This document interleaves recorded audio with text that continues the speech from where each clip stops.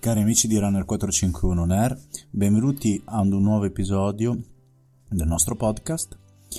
Beh, chiaramente in questo periodo viene naturale eh, parlare di quello che sta accadendo il periodo del coronavirus. Siamo sempre aprile 2020, viene naturale parlare un po' di tutto quello che sta succedendo, di quello che ci succede attorno. Mm, la polemica del correre e non correre credo che sia ormai per fortuna una cosa superata. Da una parte c'è chi non ha compreso che la corsa, come chi fa altre attività sportive, non è solo un hobby, ma fa parte, fare sport, di uno stile di vita. Dall'altro c'è chi con per troppo egoismo ha pensato di non dover cambiare nulla del proprio stile di vita. Senza dubbio, e su questo proprio sono sereno e tranquillo, la colpa del contagio del coronavirus non è di chi corre. E, sempre senza dubbio, ogni volta che succedono queste cose qui nella storia, c'è bisogno di prendersela con una categoria di untori. È toccata ai runner, un po' per colpa dei runner, un po' perché la gente ragiona per categorie. Per colpa di una parte di runner, non dei runner. Perché per, una, per un primo periodo soprattutto hanno continuato a correre in gruppo, abbiamo continuato, io non l'ho fatto, ma comunque siamo stessa, nella stessa barca, abbiamo continuato a correre in gruppo e mh, mm, pensato che fosse una cosa che non ci toccasse quello che stava succedendo. Dall'altra colpa di chi ragiona per categorie, perché se io vedo due che corrono dove non devono, o anche dove possono, ma vicini, non posso pensare che siano tutti i runner che sbagliano. Serve dirottare la rabbia, c'è chi lo fa fare apposta per distogliere l'attenzione su altri aspetti.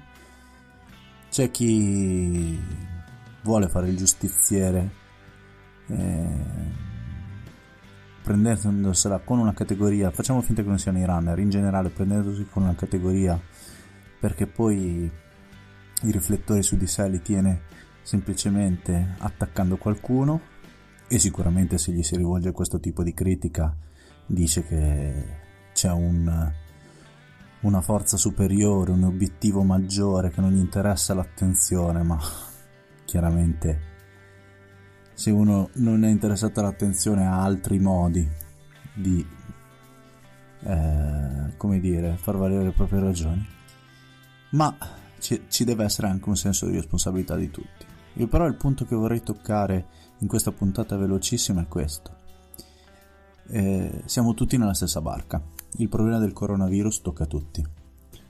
Chi si contagia, chi no, chi ha una restrizione tutti delle libertà personali, chi perde dei cari e non gli può stare vicino, chi perderà, speriamo di no, ma chi perderà il lavoro o comunque avrà grossi problemi economici.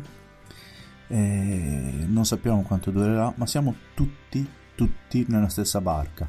Chi avrà la fortuna di essere sul ponte superiore chi ha la, for- la sfortuna di essere nei livelli in cui eh, è più facile annegare.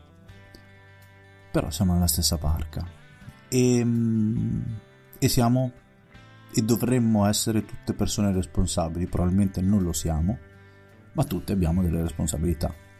Ora, il concetto è di buon senso. Smettiamola di ragionare per categorie. Smettiamola di dire che tutti i runner sbagliano, che guardate dico una cosa forte, che tutti i medici siano dei santi, con ovviamente tutta la mia stima e il mio rispetto per quelli che stanno battendo in prima linea e che purtroppo muoiono solo perché fanno il proprio dovere. Non è una mancanza di rispetto a questo, ma era una cosa un po' forte per dire non ragioniamo per categorie non, eh, se io vedo uno alto biondo fare un furto, non penso che tutti quelli alti e biondi siano dei ladri. Chi ha processato della categoria nella storia è sempre sbagliato, per quanto in questo caso ovviamente sia un processo non forte. Eh, e smettiamola di fare gli sceriffi dai terrazzi anche. Ma se vediamo un comportamento sbagliato, un assembramento di persone, piuttosto sì, chiamiamo i carabinieri poi ci, o i vigili, insomma, ci penseranno loro. Eh, non dico di voltarsi dall'altra parte perché questo no, questo è l'errore al contrario, ma anche sentirsi in dovere di giudicare perché vedo uno a spasso e magari quello a spasso sta andando a fare un qualcosa eh, delle attività consentite, banalmente a fare la spesa. Poi ovviamente non facciamo la spesa tutti i giorni, ma io non posso sapere cosa sta facendo quella persona, non posso sapere se ha un certificato dato dal medico per cui è obbligato, come capita per alcune categorie, a, a fare attività fisica tutti i giorni per stare bene, a fare la famosa passeggiata di salute che fortunatamente è garantita in tutta Italia. Perché è come prendere una medicina, anzi molto più importante e molto meglio facciamo anche, qui difendo la, nostra categoria, eh, basta a pensare che fare sport, non la corsa, sia solo un passatempo. Purtroppo pensiamo che le mm, attività che non producono denaro, cioè almeno per chi tranne chi lavora nello sport, perché io parlo proprio di attività personale, siano quelle che vengono dopo. E invece fanno parte della componente umana e come ho detto altre volte, mente e fisico sono la stessa cosa, non si possono separare.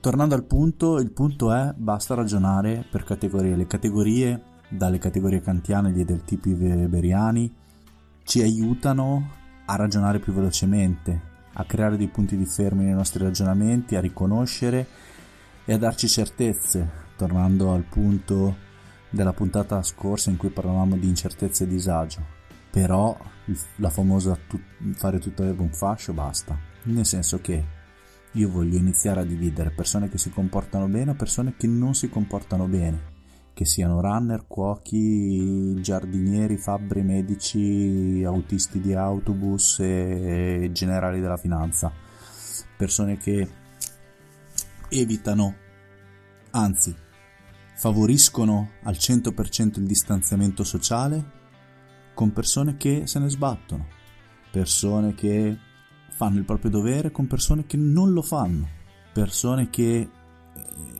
fanno di tutto per vincere questa battaglia con persone che pensano che non sia una cosa loro. Questa è la vera divisione. Basta prendersela con delle categorie, ma non perché c'è una persecuzione, caccia alle streghe, chi se ne frega, perché è sbagliato, perché se io me la prendo con delle categorie oltre a fare una vera ingiustizia, i giustizieri che se la prendono conto le categorie dovrebbero pensare che stanno compiendo un'ingiustizia, perché, questa è la mia teoria, poi si potrà sbagliare, io preferisco che ci sia un colpevole in libertà piuttosto che un innocente in prigione. E quando attacco una categoria, prendo su tutti, prendo anche gli innocenti. Questo è un aspetto che non si può sottovalutare. Inoltre, prendendomela con una categoria, distolgo l'attenzione in, sui comportamenti sbagliati individuali e si creano delle zone d'ombra. Oh, per fortuna che se la prendono con loro io posso continuare a fare il mio. No. Poi è chiaro, probabilmente ci si è presa con i runner perché per i motivi che ho detto prima, poi perché c'è gente che non correva si è messa a correre ed è ridicolo, perché non puoi metterti a correre iniziare a correre perché non hai niente da fare in questo periodo. Poi chiaramente è giusto, se, se è permesso correre non puoi eh, vietarlo a chi non aveva mai corso e permetterlo a chi già correva. Però a livello di buonsenso, per una questione di responsabilità, iniziare a correre chi non ha mai corso è quantomeno, come dire, fuori luogo. Ecco. Ehm, però, diciamo, le categorie creano delle zone d'ombra per chi non si comporta bene. Eh, stavo dicendo, sì, scusate, sicuramente c'è l'aspetto che la, la corsa è, stato, è quello sport che molti si sono messi a farlo che prima non lo facevano e quindi a maggior ragione c'è stato questo accanimento con i run. E dall'altra parte è chiaro che, eh, non so, un giocatore di golf per giocare deve andare a un campo che deve essere aperto e non sono aperti o eh, i giocatori di calcio devono non può andare a giocare da solo, ci deve essere una squadra, quindi è chiaro che sono degli sport che era più complicato continuare a fare rispetto alla corsa, che è lo sport più semplice insieme alla camminata sportiva che si poteva continuare a fare.